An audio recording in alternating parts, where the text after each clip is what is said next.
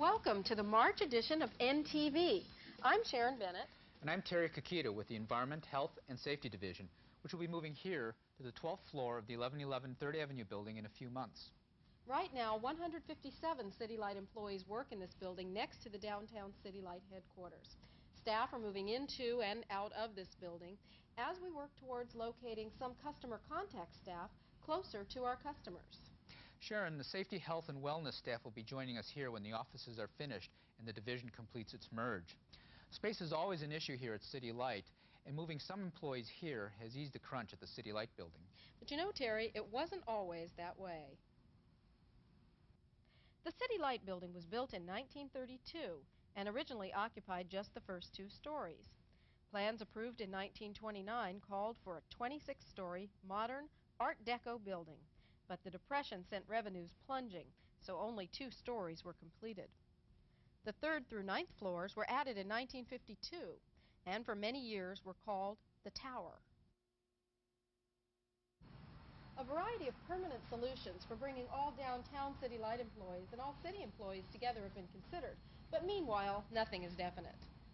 Environmental activities gained momentum here at City Light in the 1970s, and the Environmental Affairs Division was created in 1982. City Light has a commitment to respect, restore, and enhance the natural environment in which we operate. The October reorganization created the new Environment, Health, and Safety Division, which is directed by Kierval Skinnerland. Well, I think there's going to be a lot of benefits for the utility. In the short time that we've actually existed as a division, we've seen a lot of opportunities come from having a closer collaboration between the two groups and, and the chance to work a little bit closer together. I think a lot of the, you know, in a lot of ways, the mission of the two groups is really quite similar. Both the old Environmental Affairs Division and the Safety, Health, and Wellness Unit, in terms of their general mission, are responsible for compliance with regulations, both federal regulations and state regulations. So I think in that sense, coming together you know, there's a lot of common, um, common good that can come from, from that shared mission. There's some overlap, too, in terms of the regulations that deal with toxics and hazardous waste. So in that way, I think they'll be some opportunities for a really close working relationship between the toxics unit and the safety, health, and wellness unit. Another issue is that the environmental staff have had a lot of expertise and experience in developing and implementing programs for regulatory compliance. And I think that this experience can be shared with the Safety, Health, and Wellness Unit as they begin to upgrade and overhaul our, our safety and health programs. Also, the utility really does have a pretty good track record in the environmental arena, and I think it's time that we bring our safety and health programs up to the same standard. I personally am really excited about the challenge and the opportunity um, brought about by bringing these two groups together. And I know that um, Dolores and, and her staff share this commitment to improving the program. So I think you'll see us making a lot of strides in the coming year. We'll keep you updated with developments from this new division, as well as other areas in the utility where like functions and operations are being placed together. Since facilities are so important here at the utility and things are constantly changing, the transition of the First Hill substation into a first-class training facility is something to be proud of. The substation was taken out of use in the early 70s and was slated to be sold to Seattle University. When that deal fell through, the idea to turn it into a training facility for apprentices began. I would say that this facility was a vision of the field electricians here at City Light.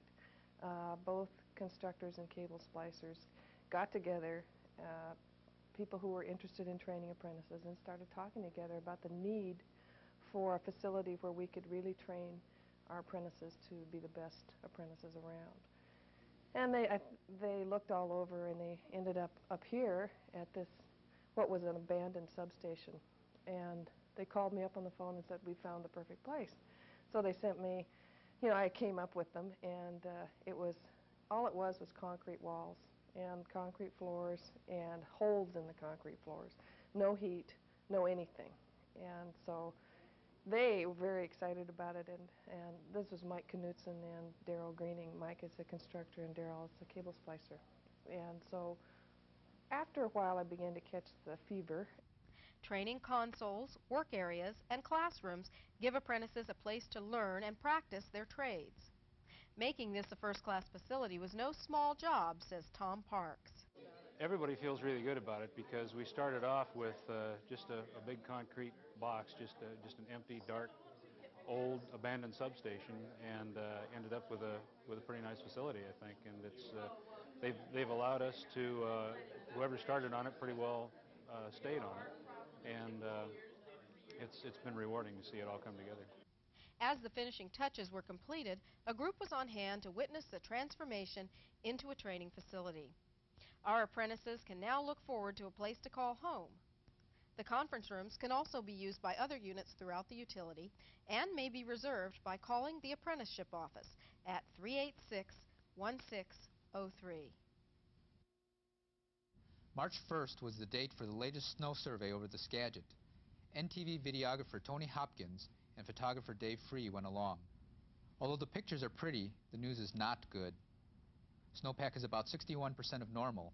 That's down from the February survey. Soil moisture also declined. City Light has had to purchase power to keep Ross Reservoir from draining below safe levels necessary to protect the fishery in Ross Lake. And power prices are higher. This has led to a change in City Light's rate proposal announced in a news conference March 8th.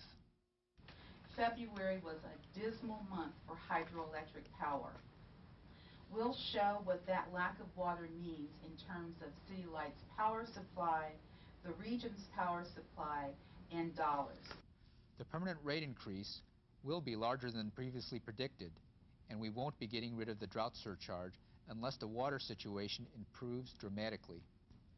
Surplus sales often help our financial pictures but this year wholesale revenues are projected to be $43 million lower than anticipated. In these days of increased competition, one of our goals is to become a more customer-driven utility. And you know, Terry, one of the first things I heard Roberta say when she arrived is that we want to delight our customers and exceed their expectations. Oh, the Residential Customer Service Satisfaction Survey is an important way to judge how we're doing and set service goals in this process of continuous improvement. Julie Nelson of Consumer Research and Evaluation talked to employees about the survey and what it means to us. I think the thing that's most important is for employees really to relate it to their own jobs. That we talk a lot about continuous improvement and customer service and improving customer service, but unless people really relate it to their own jobs, it's not going to be improved. So I would like for every employee here to, at City Light to think about ways that they personally can improve customer service and to really incorporate as many employees as possible into this improvement process. 400 customers were surveyed by telephone, rating City Light on reliability, billing and account service, conservation programs, and overall customer service. The survey recommendations include focusing improvement in the areas of rates, outages, street lights, phone service, and conservation. Improving overall communication is also a part of the plan, and results will continue to be shared with employees and customers. A tradition of providing prompt and efficient customer service continues with Seattle City Lights appliance repair staff. The utility has provided this service since 1912, and the yellow vans now visit about 600 residential and commercial customers a week. They rolled into the home show early in March to highlight the service to customers. With today's emphasis on environmental concerns come new regulations for keeping CFCs from escaping into the atmosphere. Our appliance repair was at the forefront of providing this service. Uh, the refrigerant out of these units, which averages 10 to 14 pounds of refrigerant, was just dumped right in the atmosphere with no concern as to any of its damaging effects. And then they started getting the laws together to uh, make it unlawful for doing that because of the ozone depletion. So prior to the law being enacted, we actually got this recovery reclaim machine that will actually recover the refrigerant and clean it for possible reuse. A few years back, you may have heard City Light was considering getting out of the appliance repair business. But after further review, it was decided to keep this service. It's one that's really valued by our customers. Sharon, I know our NTV staff is always on the lookout for stories from different work groups throughout the utility. That's right, Terry. We'd like to share these with all City Light employees, but we can't cover things we don't know about. So let us know what you're working on that might make a good story for NTV give us a call at 684-3112 or write NTV, room 809, City Light Building. Well, that wraps up this edition of NTV. This is the sixth issue of our news video magazine, and you might have missed one. If so, they are available for you to borrow. So give us a call at 684-3112 and we'll send one out for you to view. You can take it home or view it at work and just return it to us when you're done. We'll see you next month. For NTV, I'm Terry Kakita. And I'm Sharon Bennett. Bye-bye.